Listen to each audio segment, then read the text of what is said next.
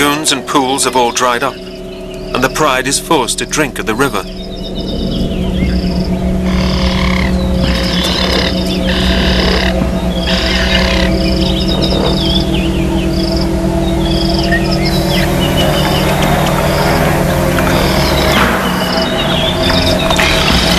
A shallow pool seems safe. But lions aren't the only masters of ambush.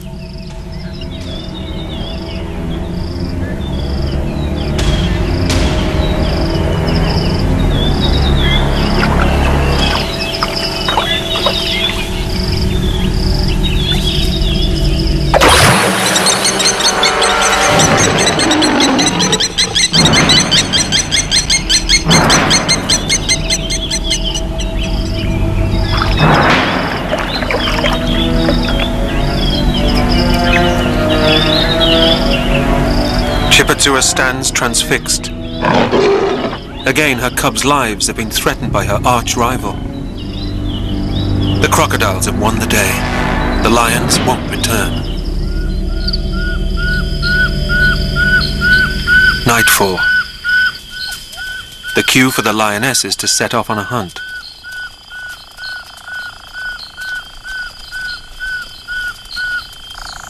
The cubs are too young to go.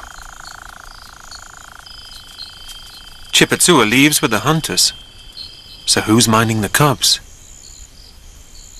The lazy sister.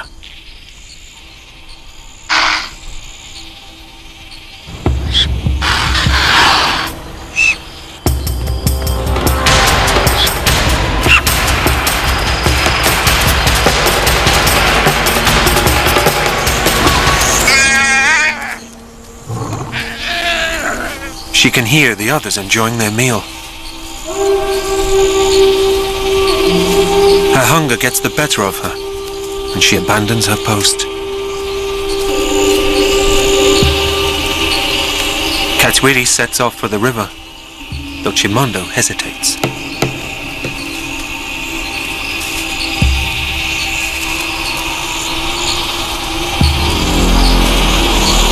The night holds other threats.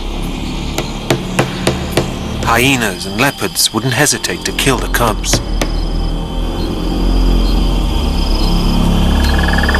Katswiri is still thirsty from this morning, but seems reluctant to drink.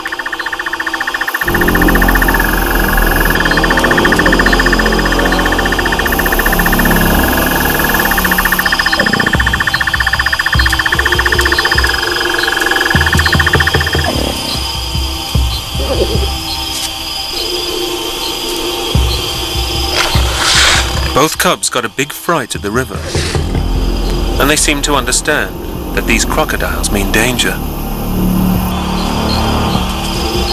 It's an important lesson they're learning. Fear. They're finally growing up.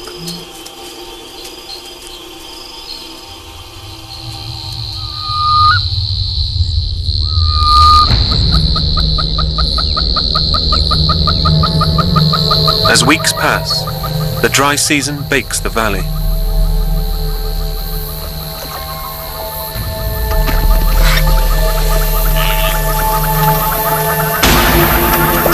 The shrinking river pulls further away from its banks, exposing large sandy beaches. On one of his marking patrols, Mfumu spots the rival pride on a sandbank. It's the first time they've ventured this close to his territory, and it's his first look at the entire pride.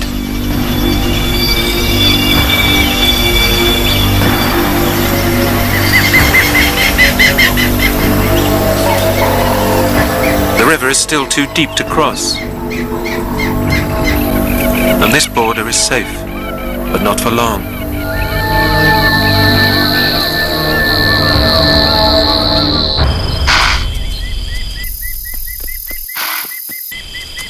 Four tutors, night school begins in the Lion Pride. The cub's lesson? Hunting.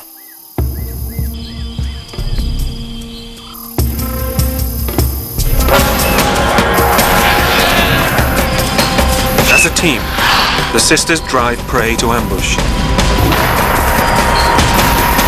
It's a deadly lottery for the antelope.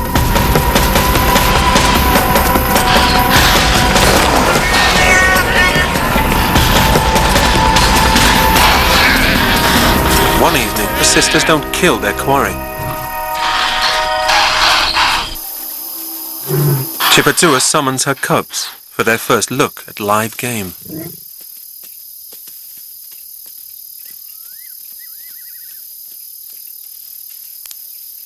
As always, Katswiri is bolder. But for once, she won't be first. Perhaps Mum wants Chimondo to lead for a change.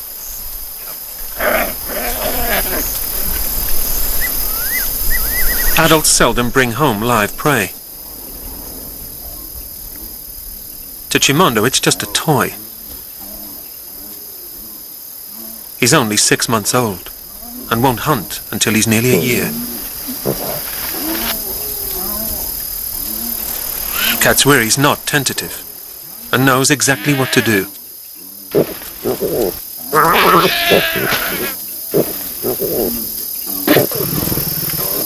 Her brother loiters in the back of the class, but Chipatsua knows this lesson is too vital to skip.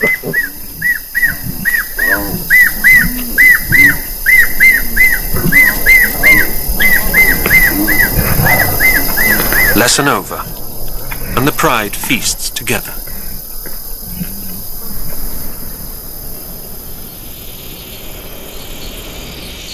During hunting class, one teacher was absent. Now they know why. Their cousin rejoins the pride as a mother.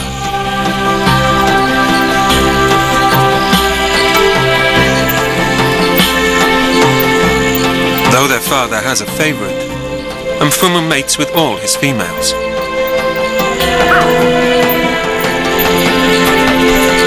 Chimondo and Katswiri were bound to have cousins.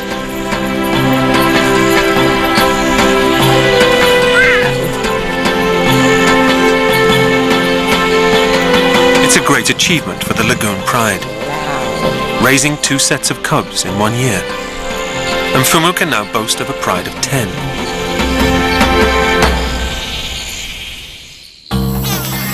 Summertime at Lion Lagoon, and the living is easy.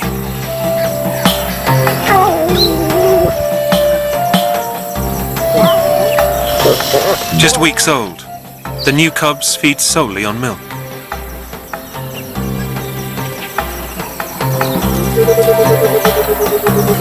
Katswiri and Chimondo practiced battle techniques.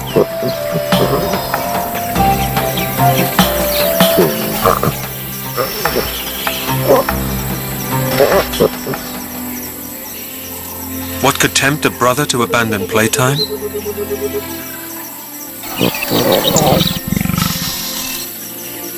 Mum.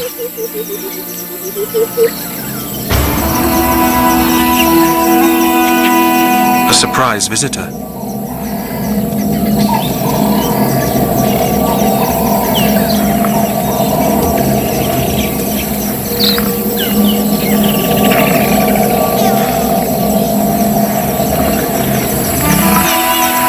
Buffaloes only journey to the river when the lagoons have all dried up. An opportunity for the lionesses.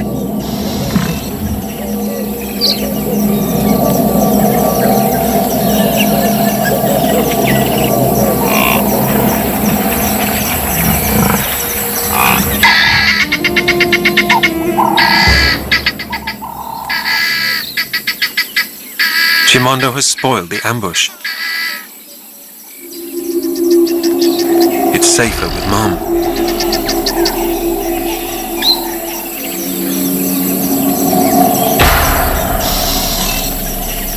Another surprise. Who springs to life but the lazy sister?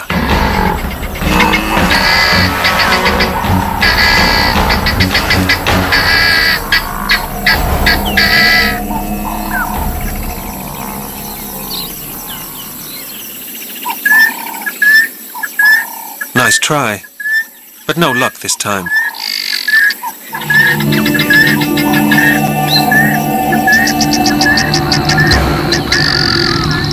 The Lagoon Pride will have to be patient.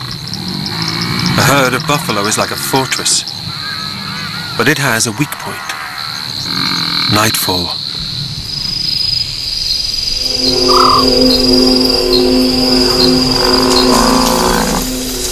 As a herd, the buffalo are formidable. Better to separate an individual, and Chipatsua is the distraction.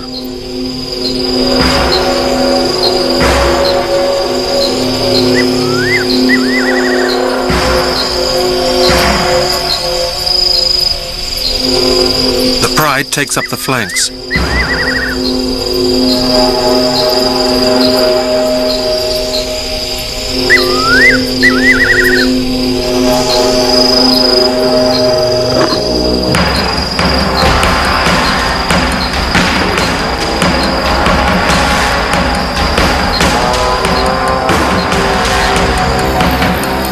Their trump card.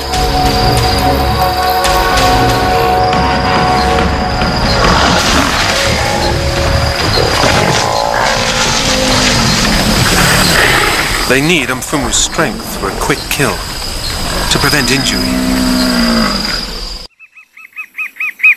It's the height of the dry season, and vast areas of the valley floor are barren and lifeless. The clouds building overhead hold no promise of rain.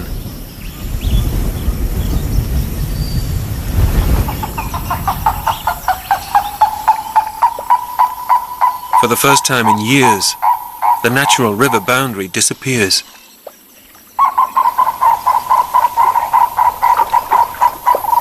As some leave the pride's territory, others enter.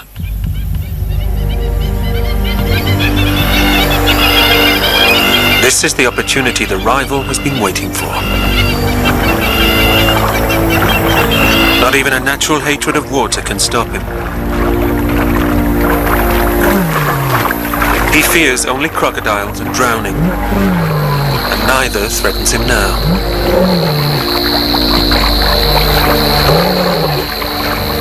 He cautiously announces his arrival. No answer. The rival slips unnoticed into Mfumu's territory.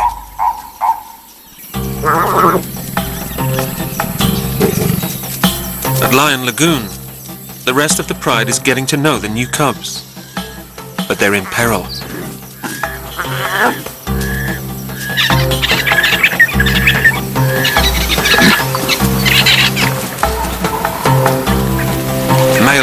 Live to spread their genes, and the cubs will hinder the rival. If he takes over, he will kill and even eat both sets of cubs.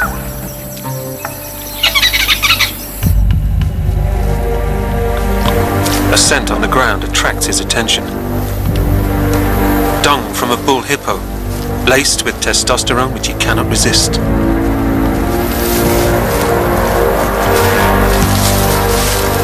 This pungent fix makes him feel invincible. And caution disappears.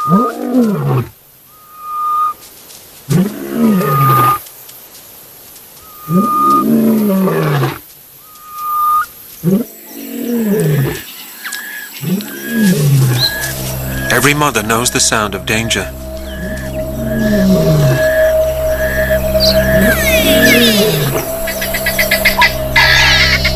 There will be a takeover attempt. And with Mfumu away marking, they must face the menace alone.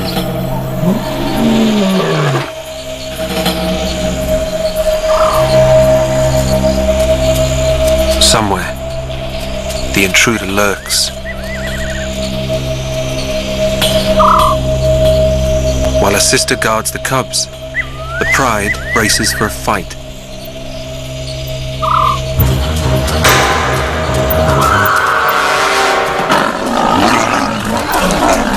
The babysitter turns the tide.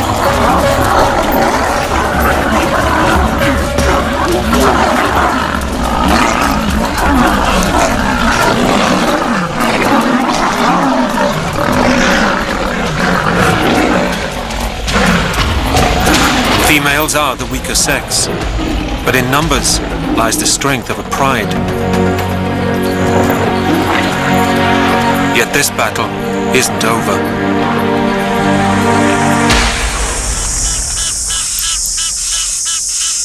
The rival male has survived a rough night.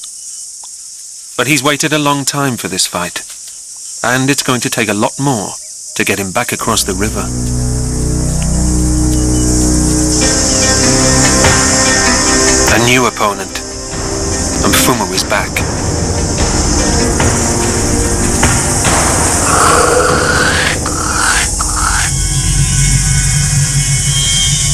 Nothing offends the leader of a pride like the stench of a trespasser.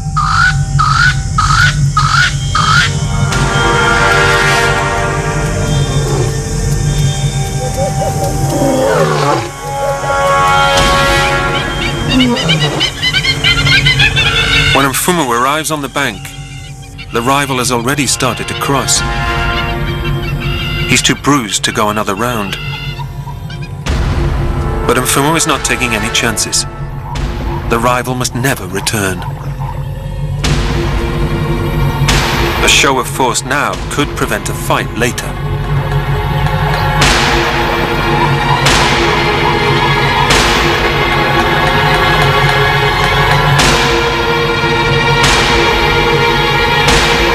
Reaching the middle of the river, Mfumu issues his final warning.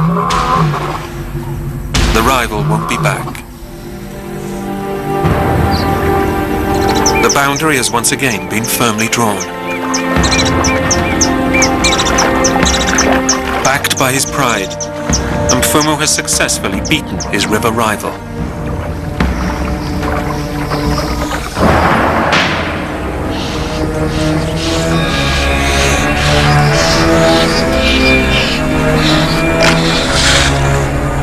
Chipatsua has made a conquest of her own, over her worst fear.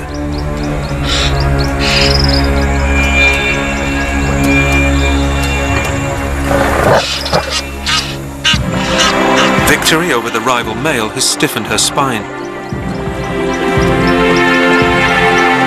She's broken the crocodile's spell.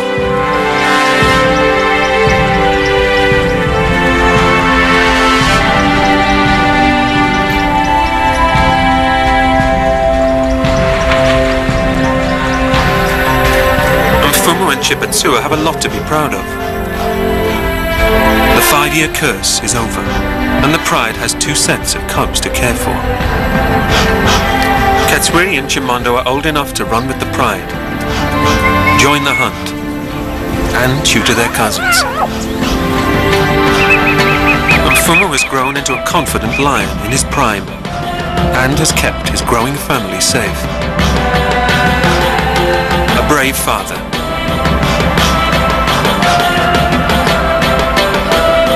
mothers, sturdy youngsters, safe borders.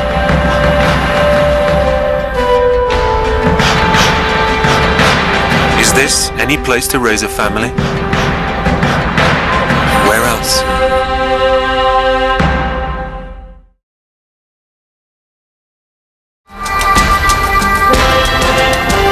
Isolation has provided a paradise. But there is a price to pay, as fortunes change with the annual ebb and flow of the seasons. The Luangwa Valley experiences the most extreme changes in the whole of Africa. In the wet season, the river explodes its banks, creating vast wetlands which gently subside into generous oxbow lakes and lagoons. It's an Eden for grazers and waterborne predators.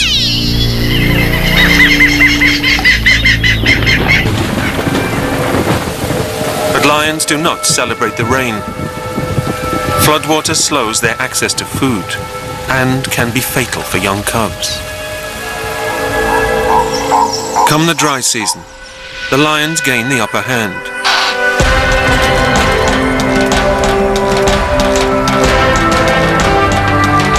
As the water disappears, animals are forced to make daily journeys to the river to drink. Most commute along dried-up lagoons, a route closely watched.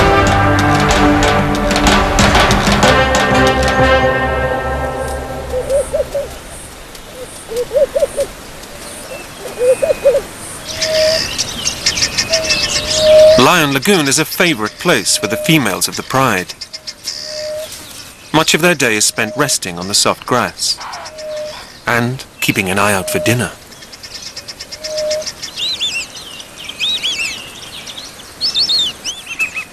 Resting is a luxury Mfumu can't afford. With ownership comes responsibility. It's his duty to protect his lionesses and guard their territory. To keep it means endless work. Up to 16 kilometers a day patrolling and marking turf.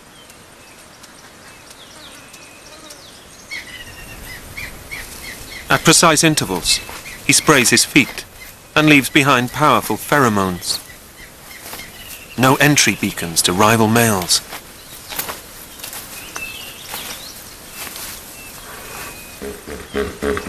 A scent barrier is Mfumu's best defense. Only four years old, he's still too young to face a full-grown male.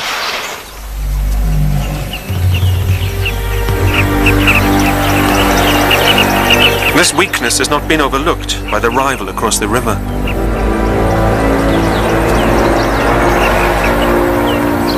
An older male, full of strength and envy.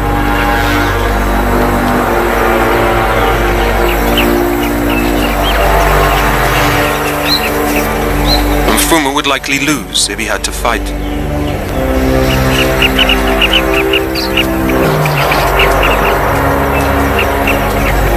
For now, the river boundary averts a showdown.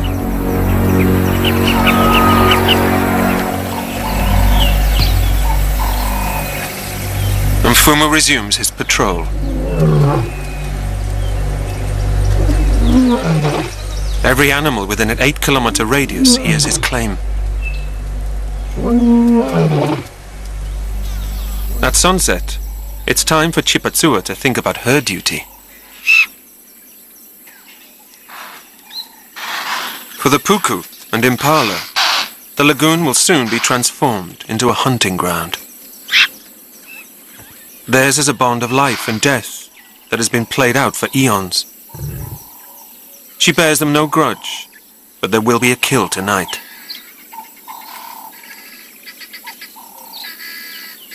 Two younger sisters often hunt with Chipatsua. Together they form the Pride's core hunting unit.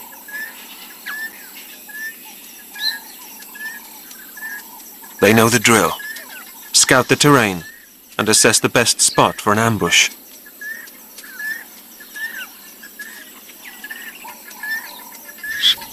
But it will just be two of them tonight.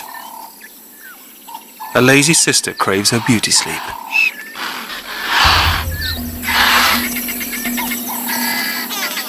The dutiful sister targets a puku.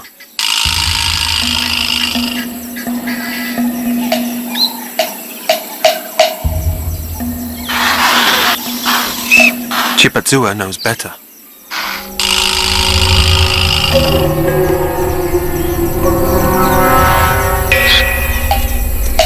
They must wait for the cover of darkness to outwit these agile antelope.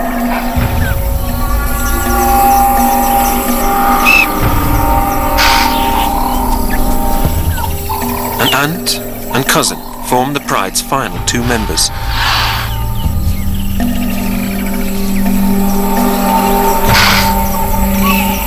This mother-daughter team sometimes shares the pride's kill, but they prefer to keep to themselves and hunt on their own.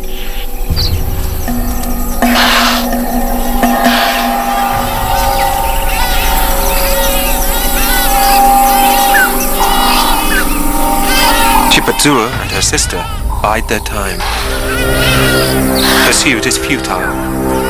Puku can outrun a lion. Come sundown, excellent night vision will swing the balance in the lioness's favor. It's a waiting game for the Puku.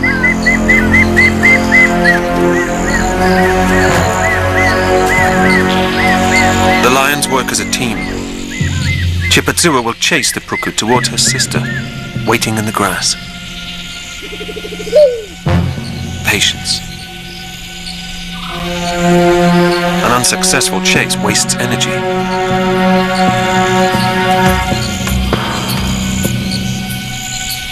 The trap is set.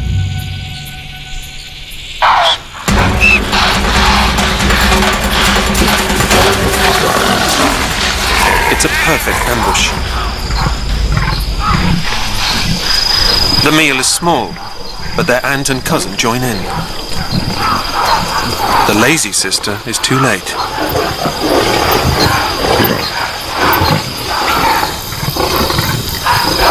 With no cubs, Chipatsua can be a full-time provider for the pride.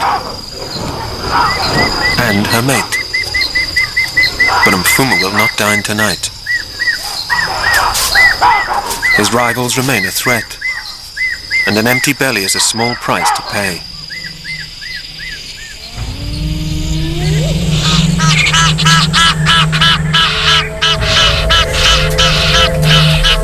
At the height of the dry season, life converges on the valley's sole source of water.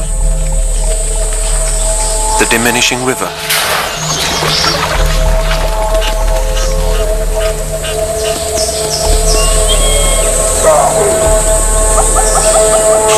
But relief is coming.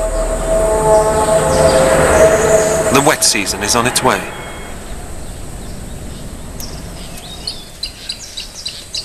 Chipatsua also comes for a drink.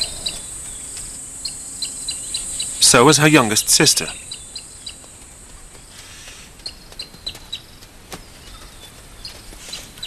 The repeated head-rubbing and mock fighting reaffirms their pride membership and their bond as sisters.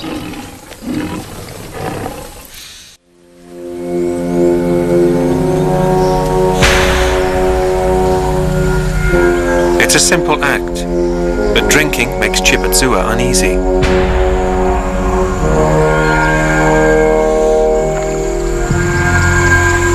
These waters belong to the crocodiles.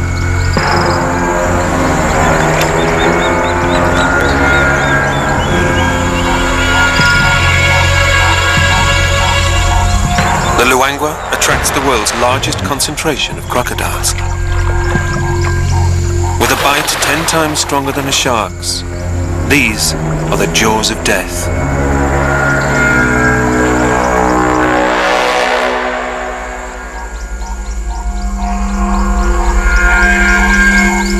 Even when the crocodile is long gone, Chipatsua takes her time. The river is why she has no cubs. Crocodiles have killed her cubs three years in a row.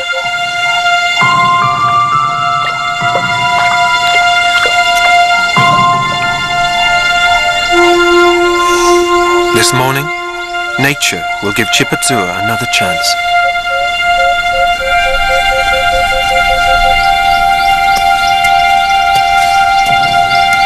She has come into Estrus, a four-day opportunity for life.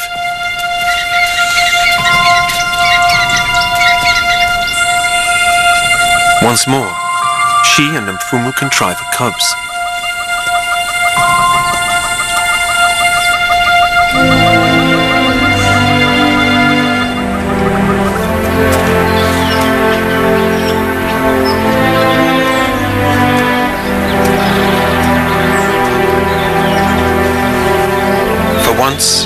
Sisters aren't welcome.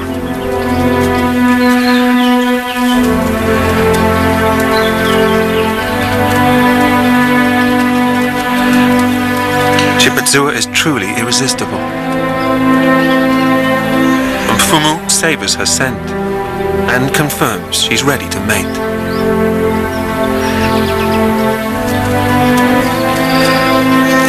Most females would slap and snarl, but they've shared too much the ritual aggression. Merely a love bite.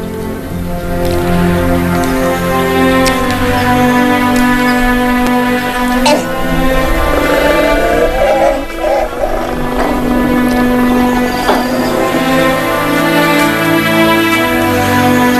Mfumu will not leave her side for four days. To increase their chances, they'll mate twice an hour, round the clock.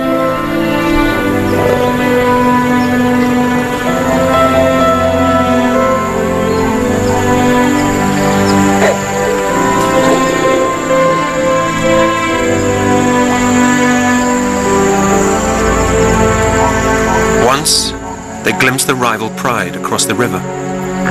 But their focus is the future of the pride.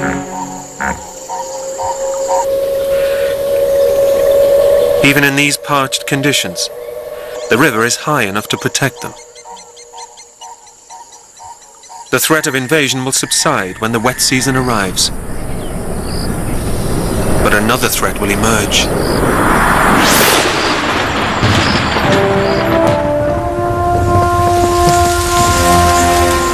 Over the next three months, the Luangwa Valley again demonstrates one of its spectacular transformations.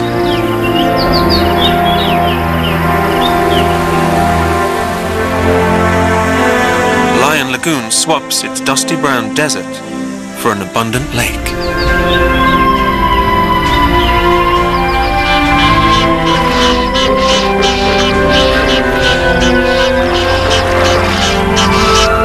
In this season of rebirth, the Lagoon Pride has something to celebrate.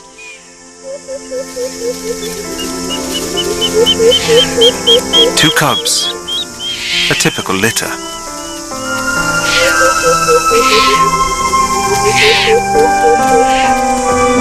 Newborns are prey to hyenas and jackals.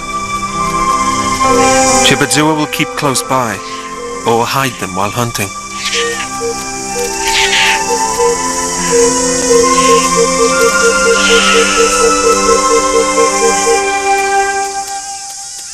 Mfumu is aware of the birth, but will not take an interest until the cubs are old enough to join the pride, if they live.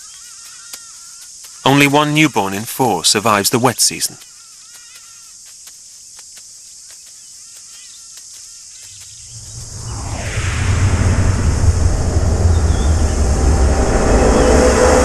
End, but the landscape is completely changed. Pathways vanish.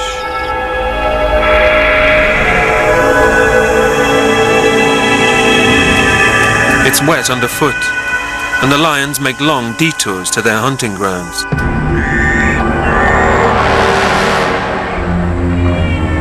Other predators welcome change. Their once narrow habitat now engulfs the land. They can look forward to many new opportunities.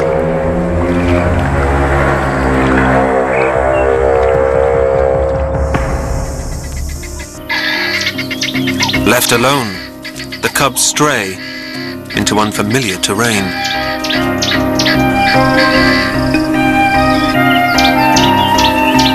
Lions are born to explore, but curiosity can kill a cat.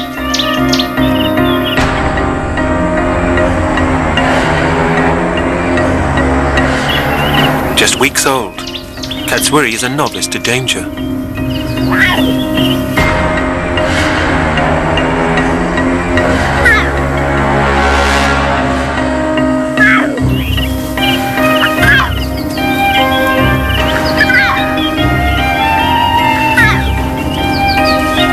timid brother, Chimondo, at last joins her, and Katswiri leads the way into peril.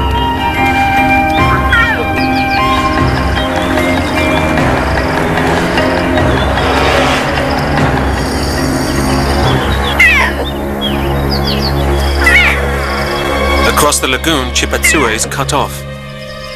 To save her cubs, she must face her worst fear. The water.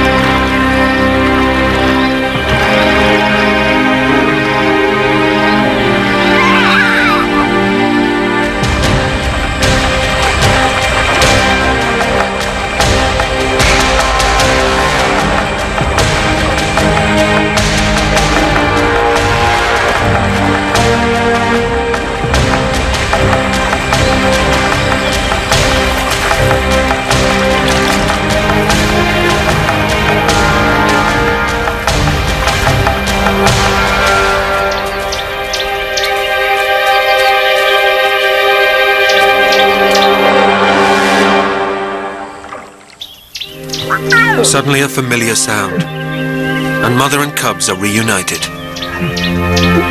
It's a narrow escape, and not the last. For more than a year, cubs depend on their mothers. Each time Chipatsua leaves to hunt, she puts them at risk. This cycle of life and death must be broken.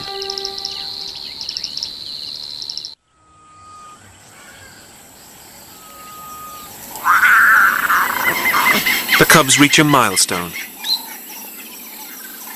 After six weeks, they're strong enough to keep up with their mother. Finding another den might keep them safe for a while, but instinct is guiding Chipatsua in another direction.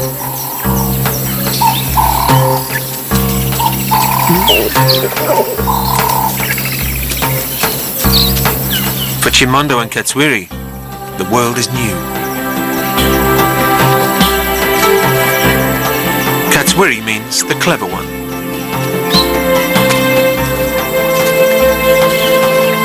Wrong prey, but right instincts. Chipatsua has made a big decision. It's time to meet the pride.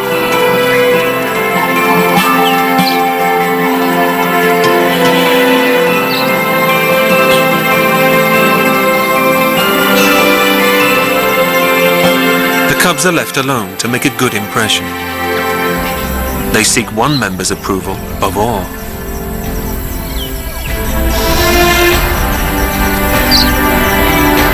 Chimondo and Katswiri had never seen a male lion. Instinctively, they show caution and respect.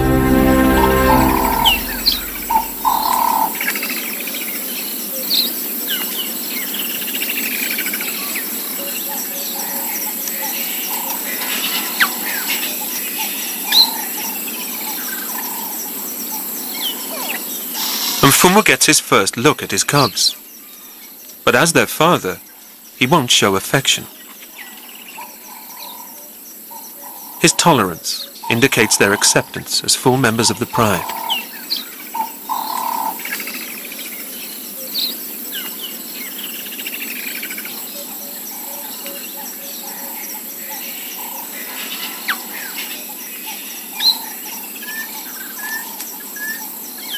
Mature males resent younger rivals. Chimondo is no threat now, but at sexual maturity, he'll be exiled. Chipatsua can relax at last. With so many guardians, the odds of survival have just risen. This personal time with Chipatsua will not last long. The cubs will nurse up to seven months, but now they're ready for meat. Chipatsua can hear there's been a kill. She's hungry. It's been a long time since she's eaten. First, every parent's struggle. Putting the kids to bed. Thank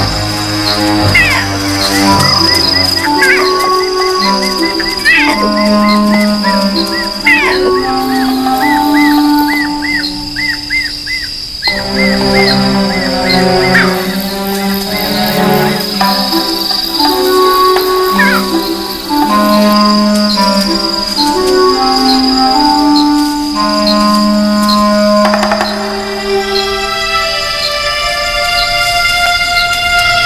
Finally surrenders.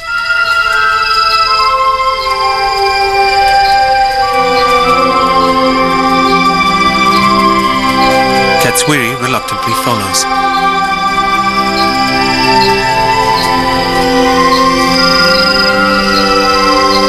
Now, a midnight snack.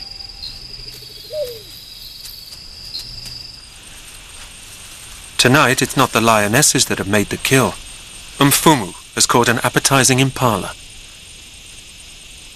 This meal will need different tactics.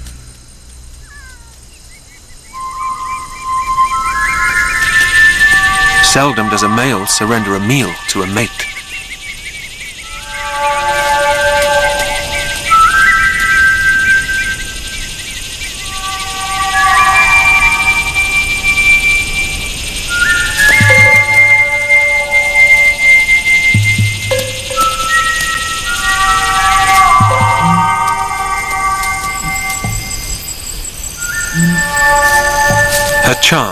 Has won her a rare feast.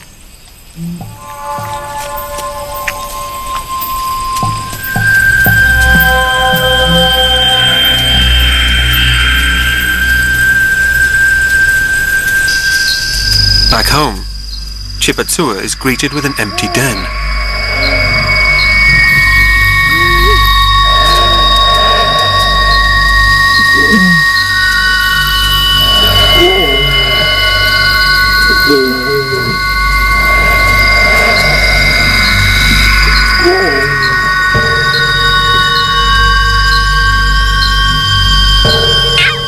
When she finds Chimondo, he is alone.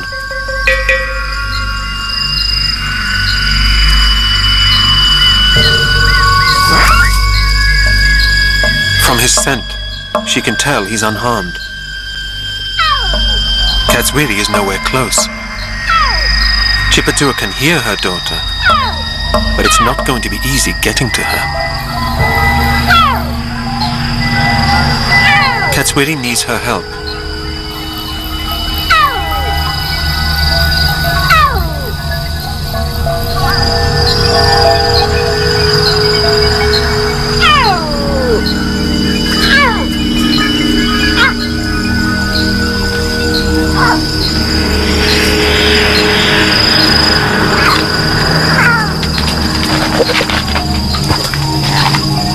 Not a graceful rescue, but Katswiri is down. Chipatsua can smell that Katswiri has had quite a jolt. Katswiri is a bit dazed and wobbly on her feet.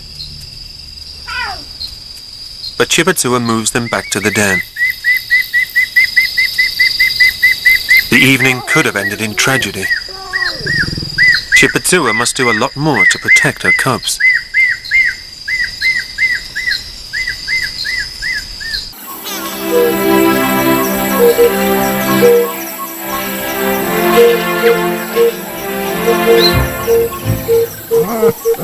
Pride Life has changed completely with this energetic duo around. The cubs brim with energy, and now with character. Katswiri never sits still, always after the next adventure, eager to learn and experience more. Chimondo is a mama's boy.